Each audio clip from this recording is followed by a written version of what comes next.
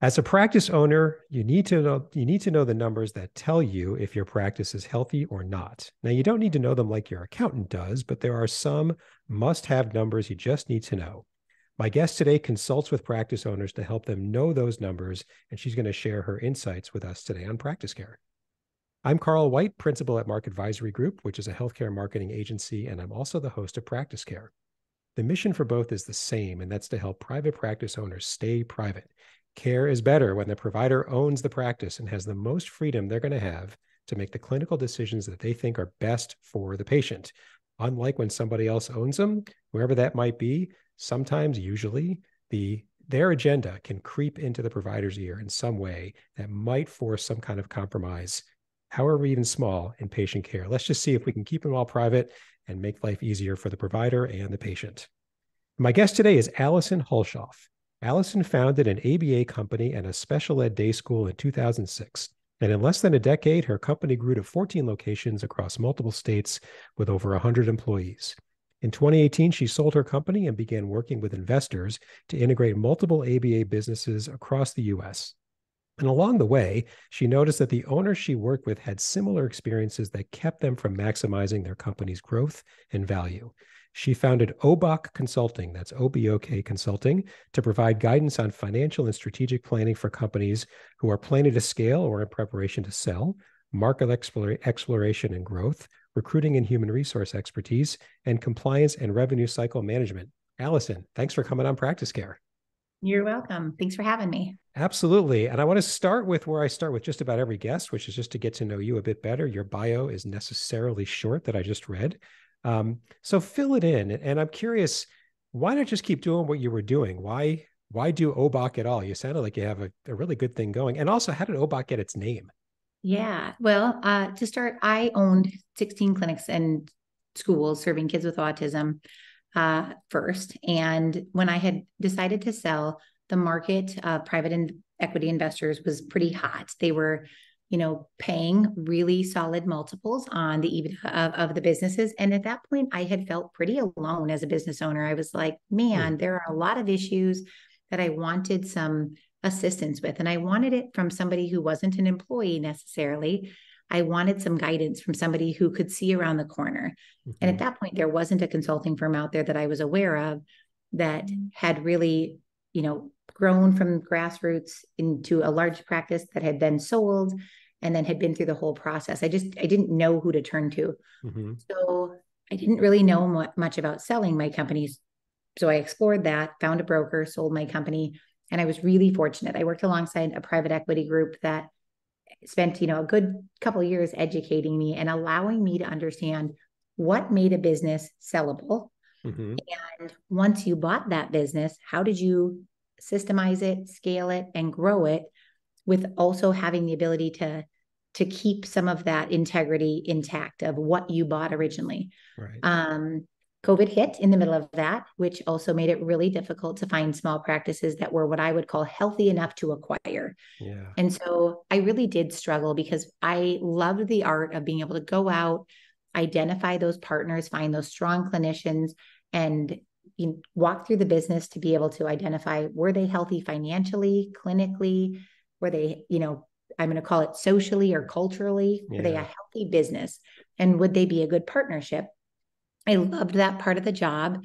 Uh, and I felt like that is what I was really good at. What I missed was the opportunity of once we acquired them, it was staying involved and engaged with them to ensure that what we had promised in the acquisition phase was really being delivered on. Mm. And so a lot of times things changed and other people were put in place to, you know, navigate and grow and scale. And I no longer had control of that. But I felt like I owed some sort of commitment to those owners who had sold to join forces with me in the first place. Right. Uh, so COVID hit. I have six children at home and decided it was time oh for God. me change, partly because throughout my opportunity with them, I had saw over 300 companies in one year from all over the US. I had I was getting on a plane on a Sunday and flying home on Friday. And there was a common theme among all of them. They were all missing certain things and they were all looking for certain answers. And I thought to myself, wait, this is pretty simple, right? If we just fixed these things, one, these people could maximize their exit if that's what they were going to do, if they were going to retire or sale. But I also realized they wouldn't have had to sell if they just, just had the answers to what they were looking for. So I decided at that point, I really wanted to focus on those small business owners and I wanted them to be able to feel good about the company that they owned, mm-hmm. but also feel good about understanding and knowing their numbers and running a business that was solid enough that made them feel like it was worth the risk of what they were investing into it. Because people are, you know, as business owners, we're away from our kids, we are working long hours. And mm-hmm. so there has to be some sort of financial gain. And there also has to be some sort of emotional uh, impact that comes back that says, yeah, I really love what I do.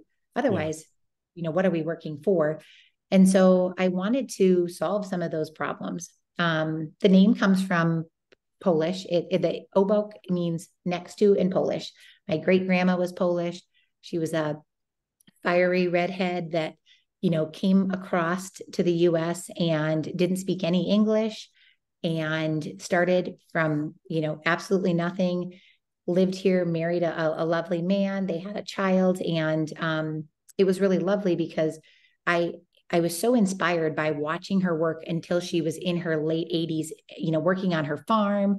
I always just remember thinking to myself, man, she came over here, didn't speak English, you know, escaped during the war. And I loved just who she was as a human. When I went to start my practice, I thought, what is really important to me and what do I want to give back to business owners? And it was truly to walk next to them.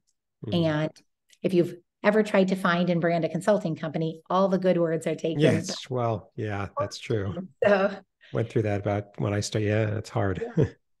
or or good names don't make any sense. They'd be terrible they don't ideas. make any sense, yeah. right? Yeah. So. Yeah, absolutely. And so today, Obok, I mispronounced it. Sorry, Obok. You work with a variety of types of businesses. Is it? Tell us a bit about who you work with. Yeah, we primarily work with healthcare service industries. So you know, we have clients who are establishing a new birthing center and they are midwives and um, mm. nurse practitioners. They are really focusing on wholeness uh, or wellness, functional wellness. And in in our state, we had the opportunity where large healthcare facilities and hospitals really saw a difference in care after COVID. And we saw a lot of practitioners saying, I want to run my own practice. I want to focus on client care or patient care and I want to be able to do it in a different way. And yeah. so we, you know, we have clients that do that. We have a lot of clients who are in the autism and applied behavior analysis space that are serving kids. We do speech therapy, occupational therapy, um, physical therapy practices. Really, uh, we've seen a large uptick in counselors. Uh, mm. So, licensed health practitioners that are opening counseling practices and therapy practices. And um, we are also seeing a pretty big boom of home health care. I think if you are following the home health care trend or home care trend, mm-hmm. it's another space where as nursing homes are changing and the landscape is changing for long-term care, home care and home health care is becoming a really big need, right? Our population is aging and that care has has to change.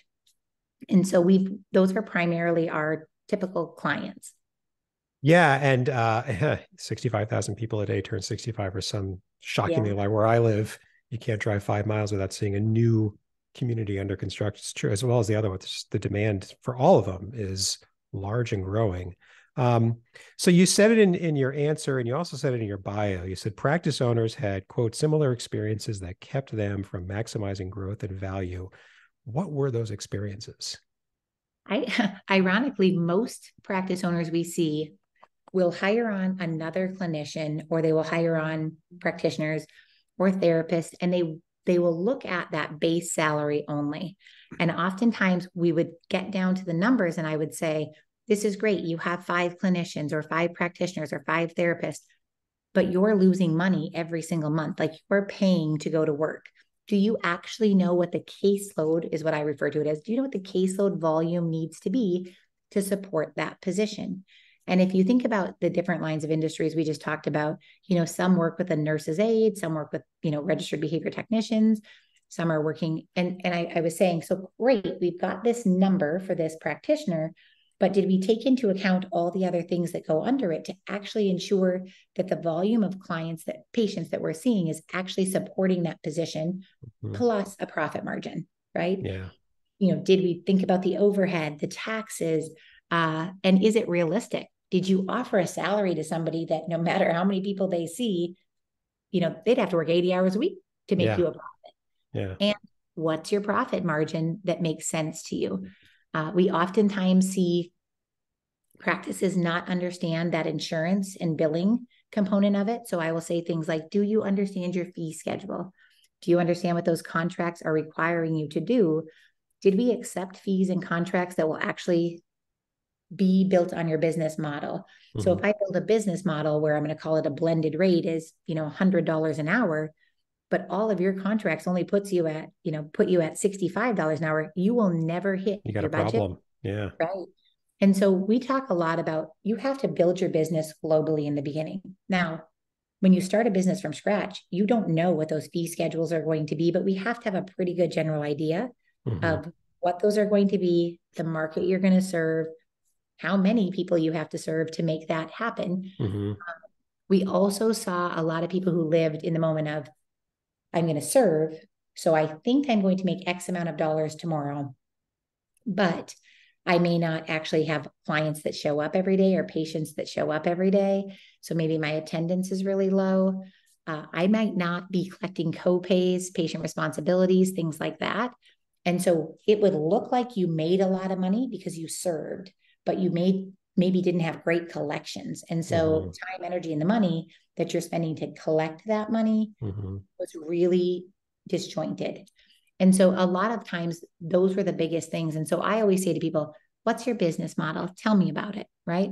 Let's start with that. Did they grasp that question? What's your business model? No, not in the beginning, Yeah. right? So a lot of times the next thing I'll say is show me your budget. And often I would almost say 99% of the time, people will say to me, well, I have a budget, but I've never used it. It doesn't make sense. And I'm already so far off my budget. What do I do? And I say, well, then that's not a budget and it's not functional. A budget's Yeah. a tool, right? Yeah. And you should be looking at it and it should be driving your decisions. And so I say, if it's too complex, it's not a useful budget, right? Yeah. So if you had to like, you know, the similar experience, it was this sort of, I guess, general lack of business acumen, business awareness. Is that how you would say it?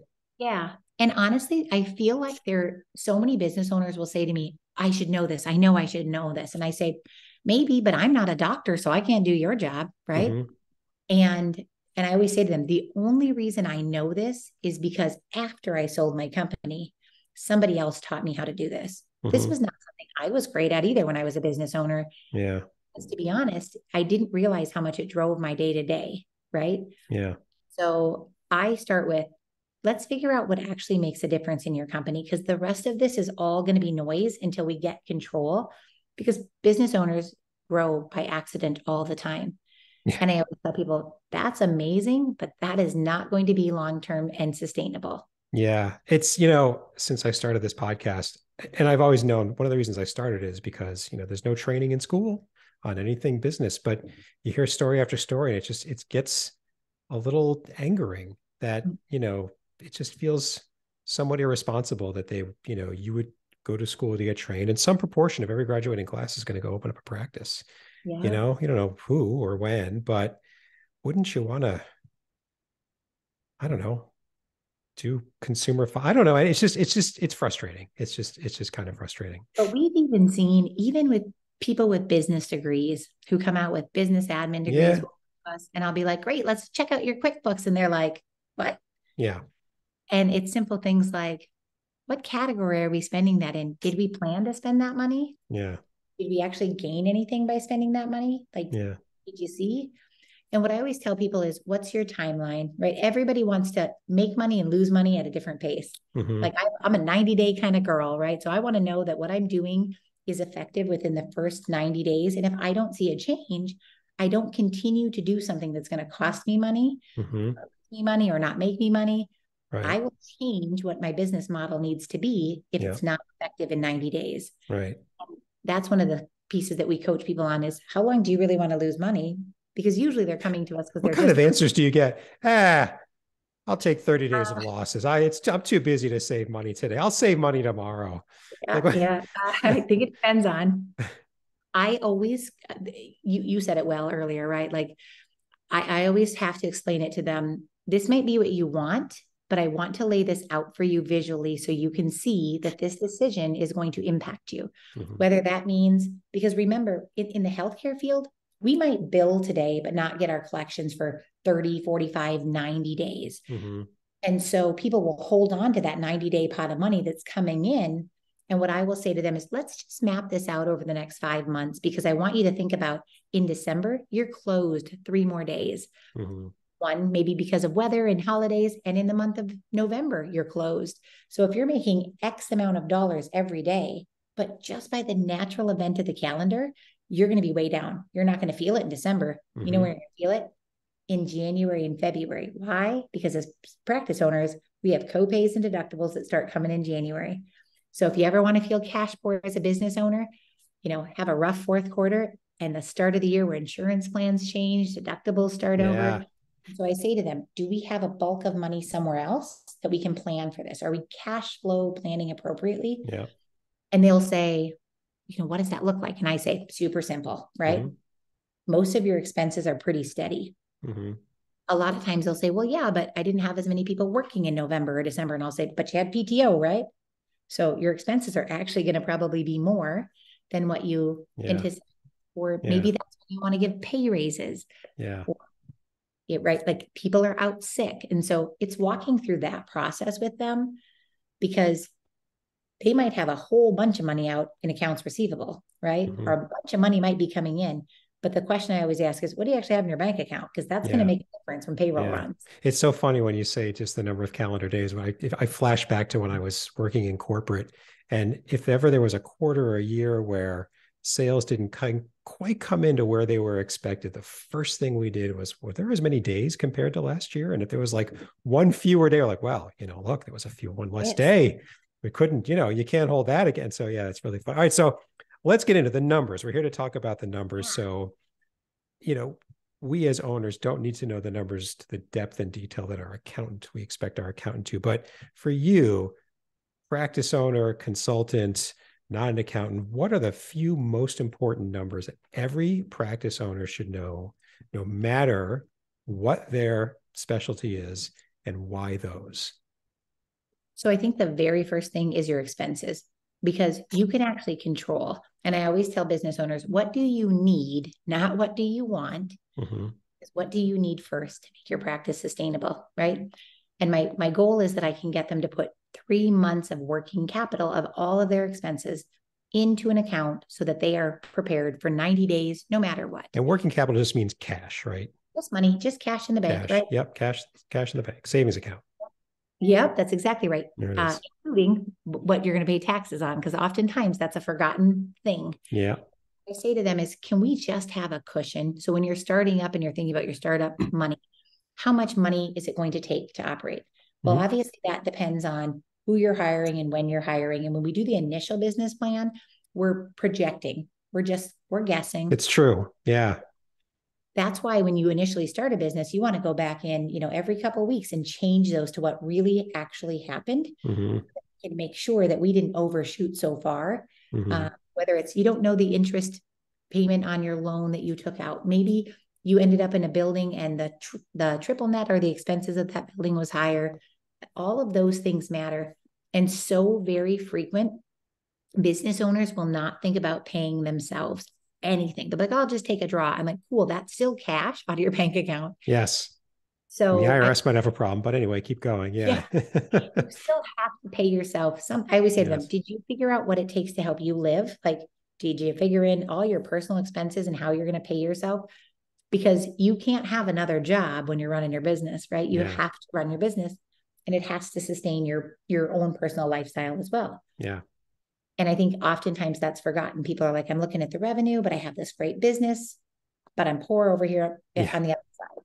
But that's the way it's supposed to be. Yeah. Well, if I always say, if you feel like you're paying to go to work, something is not running well in your business. Yeah. And I'm not saying that you don't take risk and you don't invest to it because I think you can do that, but there has to be a plan. Yeah.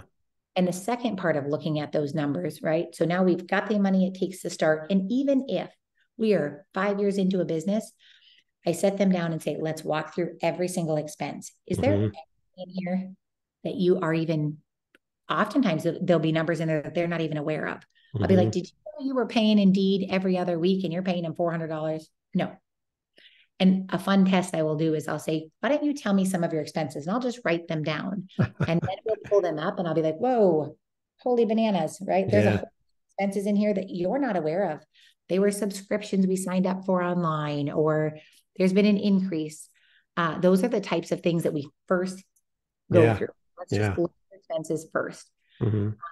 and sometimes it's helping them navigate through, you know, maybe I signed up with a recruiter and they're charging me $5,000 a month, but I haven't actually had a, you know, an employee from them. Yeah.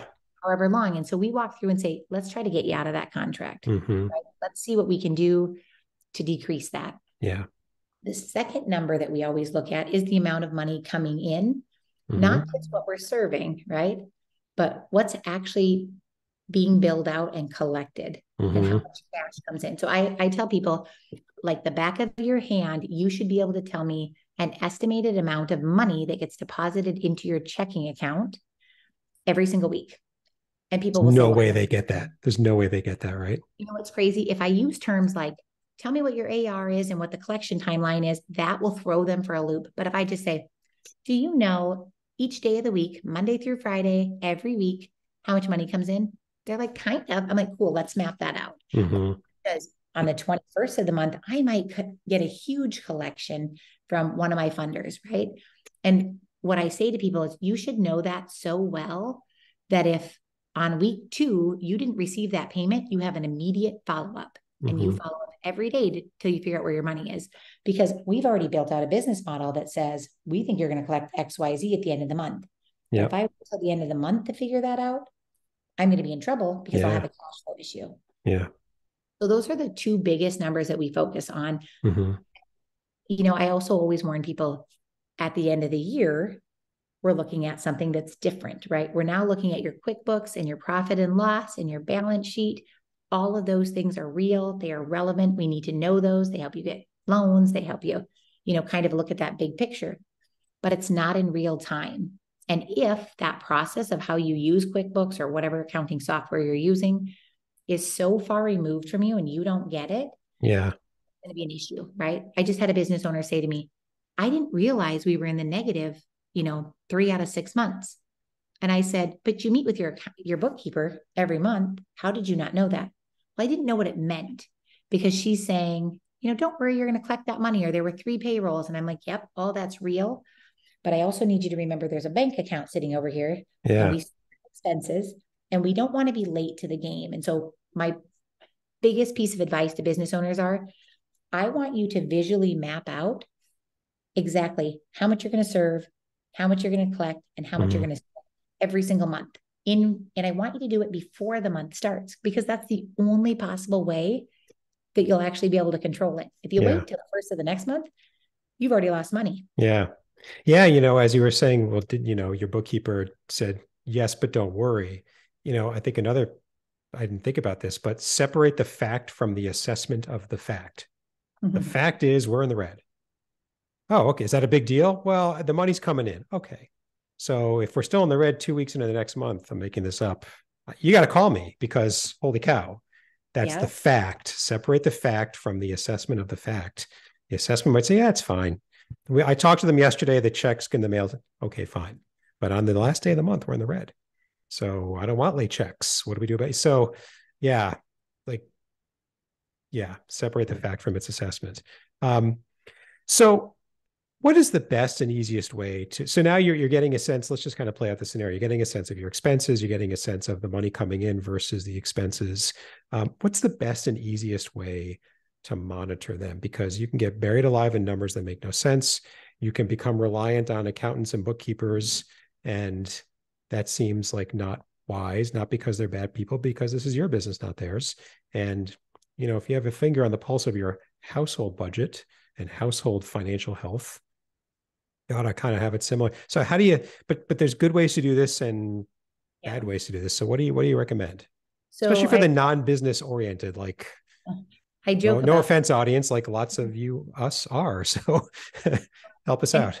Too overwhelming, right? Our business owners are like, nope, I have other things that I can do that I'm good at. And I think humans in general want to do what they are good at, right? We don't want pain. We don't want struggle.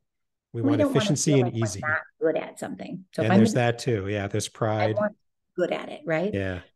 So it's it's also really hard to openly say, "Man, I don't understand this." You know, I or I only understand a fraction of it. Mm-hmm. I think there's this. You have to remember, right? When you're the business owner, you have everybody else is you're paying their mortgage, right? They are relying on you. And so to openly say, I'm not really sure how to make this work is it's a pretty um it's pretty vulnerable space for a business owner. Yeah. Yeah. Plus, so, you know, it's true. You you you went to school to train to to to to treat people, and that's true. But um, you can't do that if you're out of business. Like you I won't be able to. You know, this isn't. This may sound like money grubbing and just like a cold and clinical and sterile. This topic that we're talking about, but if you don't get these things down, the passion that you have, you won't be able to do it because your doors will be closed. I also think business owners need to know that there is a time to scale, right? There is a mm. time to scale and grow, and you can grow yourself right out of business if you're not careful. Yeah.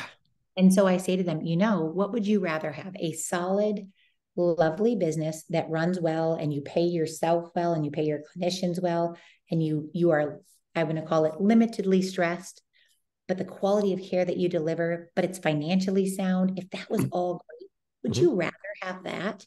Or would you rather constantly be running and chasing? And listen, there are business owners that love the thrill of the chase, right? Yeah. I I think I love what I do because I love solving the problem. Like that energizes me. You asked I'm like you. Yeah. I yeah. love solving the puzzle. Yeah. And that motivates me. Um, yeah. probably more than the money, right? Yeah. Like I love helping, growing, and seeing successful business owners. So I'm like, yeah, let's do this. Yeah. Um, but I, you don't do it to the point where you bankrupt yourself, right? Right. Mean, you could make the same analogy. I just love doing this, and I'm sure the money will come in on time.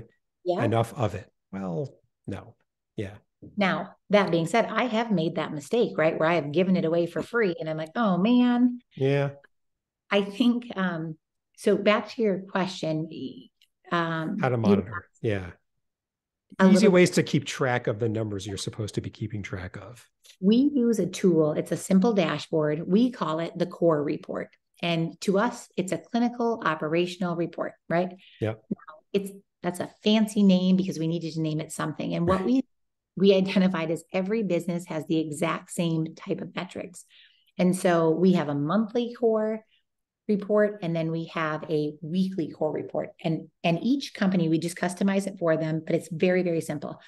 On one side I have the blended rate, which I assess the blended rate every single month because my insurance payers, I might have a different mix of clients. Mm-hmm. So if my blended rate is $100 an hour this month, that does not guarantee me it's going to be $100 next month. So at the end of every month, I reassess and make sure that my blended rate is still on point with what mm-hmm. my business was. And I do that very simply by taking all the money that we made with all the funders and we piece it out. It, it's just an average, right? Um, the second thing that we do is we piece out every clinician. And then if there are what I would call support staff underneath them. So whether it's nursing, whether it's technicians, whatever it is. And what we know is those technicians typically cost us less per hour. And I look at the ratio of how, if I pay everybody 40 hours or how many of hours they work, I actually look at what did I pay them? And of the time that I paid them, how many of those hours were patient facing. Mm-hmm. And during that patient facing, did they actually create revenue tied to them specifically? Okay. Right.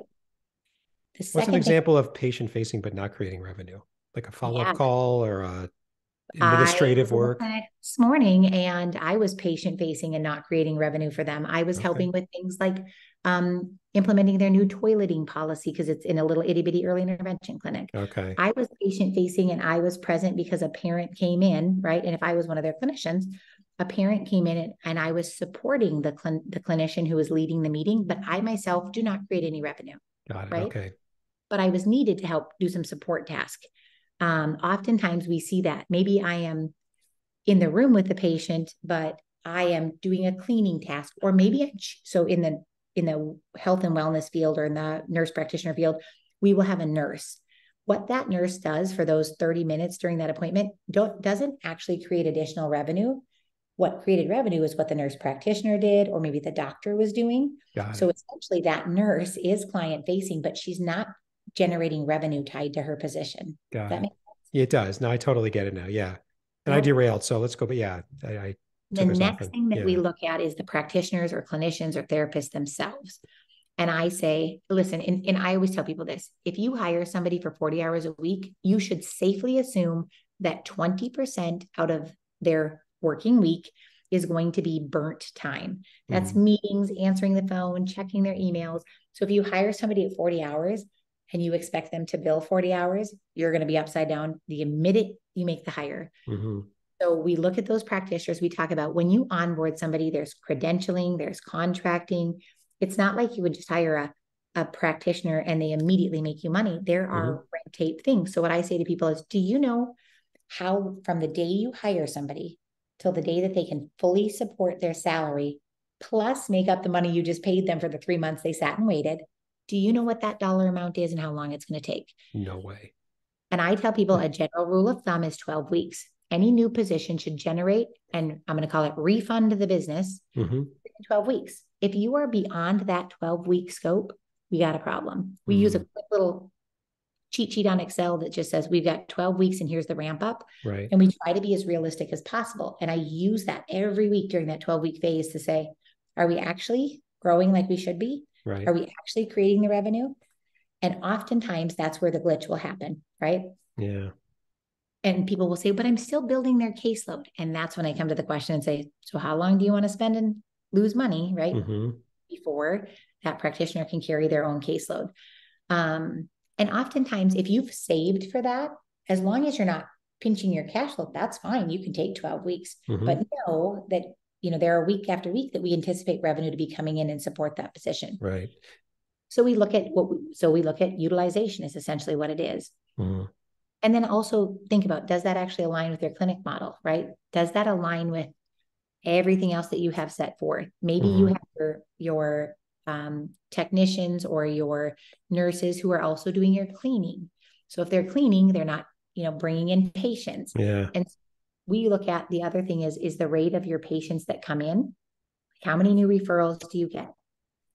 Once you get them, do you actually close them? You can have a wait list of 600 people, but if you Mhm. don't close them and you don't actually start them, and by Mhm. start them, I mean you served them and you build and you collected the money. People will yeah. say, a huge wait list. I have a great intake process. Great. You have 600 people, but you're not serving hardly any of them, or you Yeah. don't. Where are they? Yeah. When are they starting? yeah. Looks empty in here. And Yeah. a lot of time is when are they starting is different, right? You might think starting means they called you up. And I might think starting means I actually served them consistently on their schedule and I'm billing and collecting. Yeah. This is huge. I mean, I, I've talked to more than one where where I could think of a few different current and former clients where in one way or another they were messing this part up. They either weren't calling back right away, they weren't following up, they, you know, the front desk screwed up the call, they screwed up the call. Uh, oh my God. And it's just, I, I don't know. I, it's such a blind spot. I didn't really think about it, but um, until they have signed up, you know, filled out your paperwork, been seen, filed an insurance, like you don't have them. Yeah. You just don't. I would say most business owners will say to me, I'm going to just pass that off to the front desk or the whoever it's going to be. And I always say to them, well, how long are we going to do that? Right. So, like, I would say that How have of- you trained them to take Yes. those? Yeah. Oh my God. I ever, know. I say this all the time. Have you ever actually just watched them do it? I want you to watch them do it three times. I want you to look for because the first time they're going to be nervous, right? Mhm. Second time you're going to have given them feedback, it's going to go a little bit better. And the third time they're going to be good at it, where they're not, and you're going to decide that's not the person to do your intakes. You can't bury your head in the sand. Yeah. Our recommendation with the core report and looking at those simple, simple numbers is one time a week, 15 minutes. If you cannot digest that information, easily access it from the source, right? From mm-hmm. where it is supposed to be pulled from. 15 minutes, one time a week. If you cannot get that, we do not have a good pulse on your business. Yeah. Yeah. Because if you pick the right handful of metrics, they tie to the rest of them. So if, you know, you could say your blended rate was down. Okay. Well, we can look at that. That's because of the patient mix. Um, caseloads are down. That could be a few things. They're not following up, the close rates down. It's it's you can look at what's behind each one. Once we get them in, they don't stay. They go to a different doctor or therapist because maybe we don't have great uh, ability to keep them engaged as a, a patient or yep. client. Now, what we do is we start with the very, very basics, right? Mm-hmm. It's just yeah, you got to build your way up to this. Yeah. yeah. But as as our clients have stayed with us, you know, one and two years, we do things like what's your cancellation rate, right? Is it patients canceling or are you canceling because you had staff that were not there? That's huge. Yeah. And I'm going to tell you, as a as a busy mom of six and a, a business owner, if I have an this actually just happened. I had a doctor's appointment and he canceled, and I thought, no, I'll never see you again. All I did is picked up the phone and called somebody else, and I was out the door. Yeah. Because I have to build my schedule, right?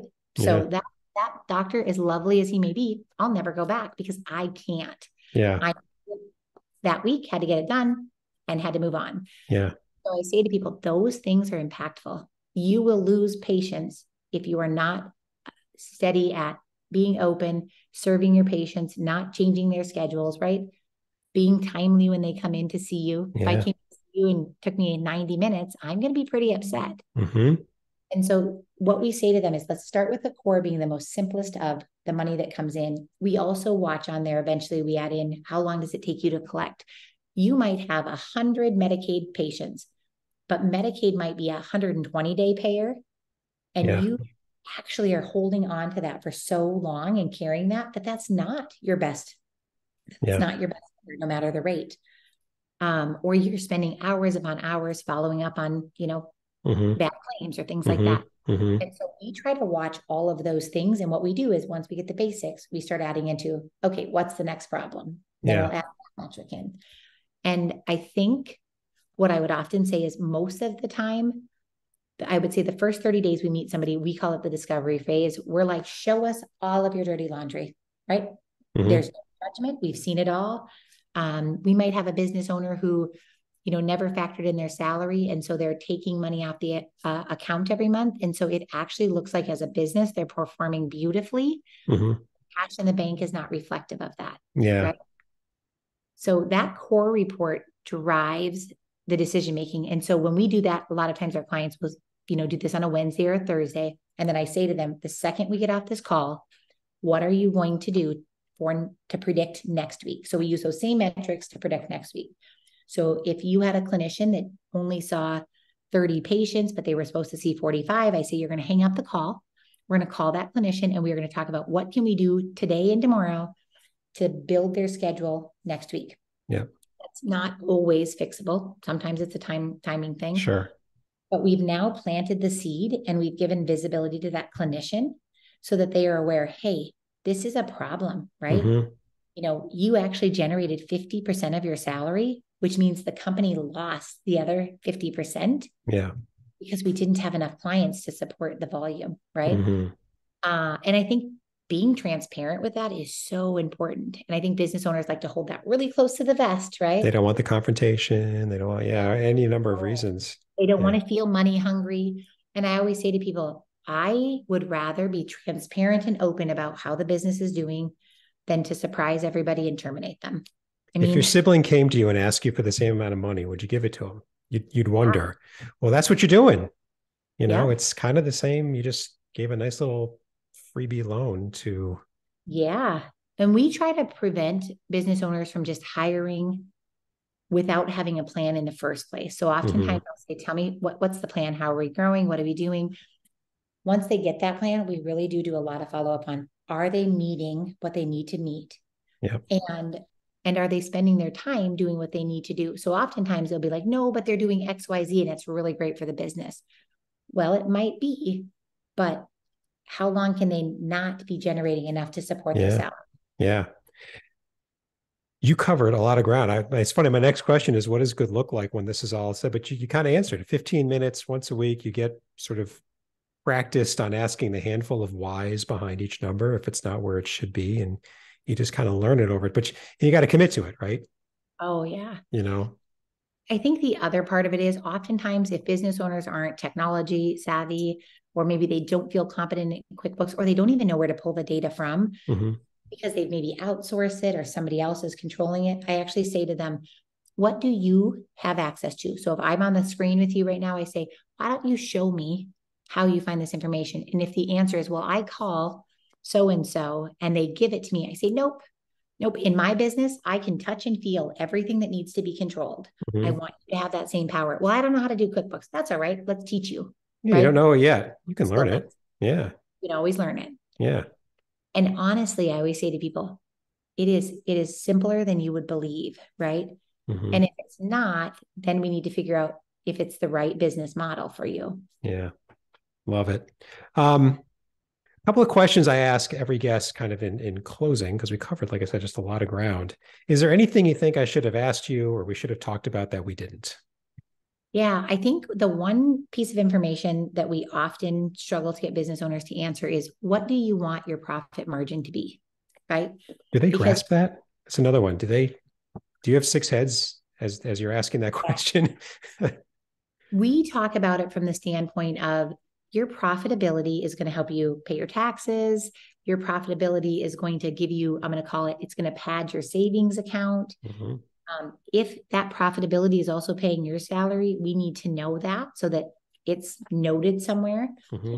And so I always tell people, well, 15% and true profit margin, that that does not take into account, meaning 15% of the revenue that you made is left in the bank for your savings account, is what I would call it. After every expense, but taxes, right? Before taxes. Yeah. yeah. taxes. And we'll show them, we'll say, you know, it actually probably should have been 30% because we then had taxes that came out, or maybe it's actually 40%. So we can have your tax savings account. Mm-hmm. And if I can get a business owner who's strong enough cash flow to start putting money in a tax account, that is the best day of my life. Mm-hmm. Um, then I, I like to ask them, right? The second question is, what is that profit margin? And what would be too much, right? So I always mm. say 15% after everything is paid, taxes, your the money that's going in your personal pocket, and we've got 15% money that you've invested back into your business. So your building looks good. You yeah. know, that's yeah. Well, that's maintenance. I don't do it every day. No, but any of us know that we're going to have to update our, our materials, our our instruments, things like that. New phones, yeah. And did we plan for that? Yeah. Um, if it's at 15% after everything is said and done, I feel so good about your business. If you are at 30 to 40% after everything is said and done, I'm going to start questioning things like, are you skimping on infrastructure? Are you, you know, mm. working too hard? Do you have an unsustainable rate with a funder that looks great this year, but may not work next year mm-hmm. because whoever is dictating that rate may change? Mm-hmm. I tell people my job is to help you limit your liabilities and insulate your business from things we know are going to happen. They right. haven't made today, but they're gonna. Right. Um, you know, you have a funder that gets held up, things like that. And so yeah. that is the number one question I ask them when we build their business model. Okay somebody says 50%, I'm going to say, well, I can't build that for you. Yeah. You're selling. Yeah. Yeah. Cool. And then the other question I ask is, all right, we've caught somebody's attention who's listening. They want to get started. They, they've, they've said to themselves, I'm not where I need to be on this. Sometimes people get stuck at the starting line. So what are one or two simple things they could do to kind of nudge themselves into motion to go down the path of ideally 15 minutes a week and i i feel really good about what i see yeah the very first thing I tell people is uh, if, if they didn't have a consultant and they didn't know where to start, I would say, I want you to go inside and I want you to find every invoice for the last three months, every expense that you have paid in the last 90 days. And I want you to map it out. And you could print out a word calendar for all I care mm-hmm. and write the amounts and what it is in 90 days past. And then I want you to take the next 90 days and do three more word calendars if you have to, right? Mm-hmm take those and transfer them to what you know they're going to be in the next three months. Mm-hmm. Right? Was there anything in there that you could get rid of to decrease your expenses? Right. And spend a day getting rid of those. Right. Yeah. And then the next thing I want you to do is put in your expected payroll, taxes, everything included for the next three months as well. Well, mm-hmm. now we have expenses that are pretty much going to stay the same unless you're a business that runs on a one to one ratio, which means if I pay you you know, if it takes me one more therapist to mm-hmm. serve 10 more clients, I have to factor that in. Sure. And the timing of it. So, so we first just start with expenses. And then the second thing I do is say, how much revenue per day. And I want you to literally write it out. So if it's $1,100 a day or $3,000 a day, I want you to show me how you're going to get that. Mm-hmm. Who was working on that day? How many hours? How many patients did they see? What code were you billing for that patient? And yeah. I want you to be right. I don't want you to just guess. I actually want to do the same thing your previous 90 days. Let's look at that. Mm-hmm. Who did you see? What did you bill? Who actually worked? What were their hours? Yeah. And one exercise will give you so much visibility into the roadmap of what you need to do moving forward. It will tell you how much revenue you need to make every day. It'll mm-hmm. tell you what bad days are. And honestly, within six months, three previous months, right, you'll be able to see the behavior pattern of your clients, your patients, your staff, yeah, yeah. weather, you know, whatever yeah. it is. And that will help you better plan moving forward. So even if you're terrible at Excel, if you can do this, right? I always say if you got a pencil and you can yeah. print off software, we can fix this for you. Yeah. Perfect. Perfect. Thank you so much. This has been, like I said, it's it's it's like I said at the beginning, we've had service providers come on and talk about numbers, but having someone who's who's you know lived it and is living it yourself it's just it's it's a different perspective uh, and it says it's possible right? I mean when an accountant says look at your numbers like yeah okay of course but when people who are living it themselves every day it makes a big difference. Thank you again uh, for coming on practice care. Yeah uh, Alison Hulshof with Obok consulting will put all the contact info that you gave me into the show notes for your episode. And then a couple of points before we wrap up. First if you're like Alison or me, that we seek to serve private practice owners, or if you're a private practice owner yourself, Alison, you check both boxes.